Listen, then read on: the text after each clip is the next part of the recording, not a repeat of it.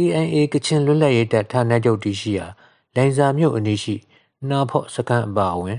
စစ်ကောင်စီတပ်စခန်း6ခုကို KNA နဲ့မဟာမိတ်တွေကမတ်လ21ရက်နေ့မနေ့မှာတင်ပိုက်လိုက်တယ်လို့ဒေတာရင်းမီဒီယာ The 74 Media ကဖော်ပြပါတယ်။ဒီစခန်းတွေသိမ်းနိုင်ရေးအတွက်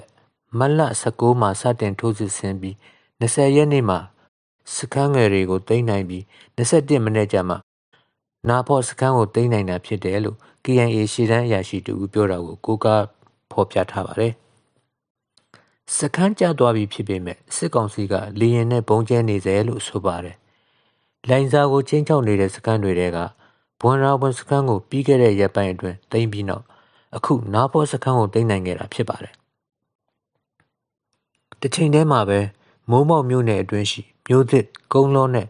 နွန်လန်းကျေးရွာရှိစစ်ကောင်စီတပ်စခန်း၃ခုကိုလည်း KNA နဲ့မဟာမိတ်တွေကမနေ့ကစားပြီးထိုးစစ်ဆင်နေတဲ့စစ်ကောင်စီဘက်ကလည်းလေကြောင်းပစ်ကူတုံးနေရတဲ့အထိတိုက်ပွဲပြင်းထန်နေတယ်လို့ဒီဆမ်တူဖိုးမီဒီယာကဖော်ပြထားပါတယ်။ကရင်ပြည်နယ်မှာတော့ကော့ကရိတ်မြို့နယ်ထိုင်းမြန်မာနယ်စပ်အနီးရှိရေတလျောက်စစ်ကောင်စီစခန်းကို KNLA ကရင်မျိုးသားလွတ်မြောက်ရေးတပ်နဲ့မဟာမိတ်တွေကဒရုန်းနဲ့ပုံကျဲကဝင်ရောက်တိုက်ခိုက်တာတွေကြောင့် စစ်ကောင်စီတပ်သား26ဦးထိုင်းနိုင်ငံဘက်ထပ်မံထွက်ပြေးလာတယ်လို့ KIC Current Information Center ကဖော်ပြပါတယ်။မနေ့6နာရီခွဲလောက်မှာစစ်ကောင်စီတပ်သား26ဦးဟာလက်နက်တွေနဲ့အတူထွက်ပြေးလာတာဖြစ်ပြီးနေရာကတော့ပြီးခဲ့တဲ့ရက်ပိုင်းက90နီးပါးထွက်ပြေးခိုးလုံရာအုံဖြံမျိုးနယ်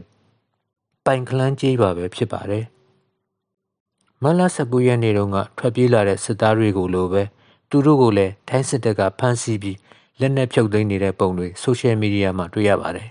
။မလ19ရက်နေ့ကထွက်ပြေးလာသူ48ဦးနဲ့အတူအခု26ဦးပေါင်းရင်3ရက်အတွင်းထိုင်းနိုင်ငံဘက်ထွက်ပြေးလာတဲ့စစ်ကောင်စီတပ်သားဦးရေ80ကျော်နေပြီဖြစ်ပါတယ်။ဖဲခုံမြို့နယ်လွယ်ပတာကုန်းဘက်စစ်ကြောင်းထိုးလာတဲ့စစ်ကောင်စီတပ်ကိုဒေသခံတော်လှန်ရေးတပ်တွေကဒရုန်းနဲ့တိုက်ခတ်ခဲ့တဲ့အတွက်စစ်ကောင်စီဘက်က ဒုဗိုလ်မှူးကြီးတဦးပါဝင်10ဦးအထက်သေဆုံးတယ်လို့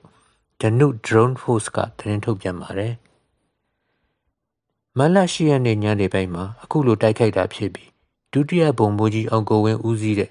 အင်အား60ခန့်တဲကစစ်ကြောင်းမှုအပါအဝင်10ဦးကျော်သေဆုံးပြီးဒဏ်ရာရသူလည်းများတယ်လို့ဆိုပါတယ်။ဒီတိုက်ပွဲမှာပါဝင်တဲ့တော်လှန်ရေးတပ်တွေကတော့ Drone Force အပါအဝင် KNDF တိုင်ရင်11 တီလေးလုံး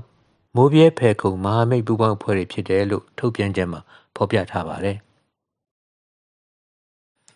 မွန်ပြည်နယ်တံပြူစရမြို့အဝင်တိုးဂိတ်မှာမနေ့ည၈နာရီခန့်ကတိုက်ပွဲဖြစ်ပွားခဲ့တယ်လို့လွတ်လပ်သောမွန်တရင်အေဂျင်စီ IMNA ကဖော်ပြပါတယ်။မူရိုမျိုးဘက်ကနေတံပြူစရဘက်အဝင်ကွမ်လာကျေးရွာအနီးရှိတိုးဂိတ်ဝင်းကျင်မှာနေရာယူထားတဲ့စစ်ကောင်စီတပ်ကိုတော်လှန်ရေးတပ်တွေက ဝင်ရောက်တိုက်ခိုက်တာဖြစ်ပြီးတိုက်ပွဲအချိန်မိနစ်20ခန့်ကြာတယ်လို့ဒေသခံတွေကိုပြောတာကိုကူကားဖော်ပြပါတယ်။အခုချိန်ထိတော့ဒီတိုက်ခိုက်မှုကိုဘယ်အဖွဲ့ကဆောင်ရွက်တယ်ဆိုတာသတင်းထုတ်ပြန်ခြင်းမရှိသေးပါဘူးခင်ဗျာ။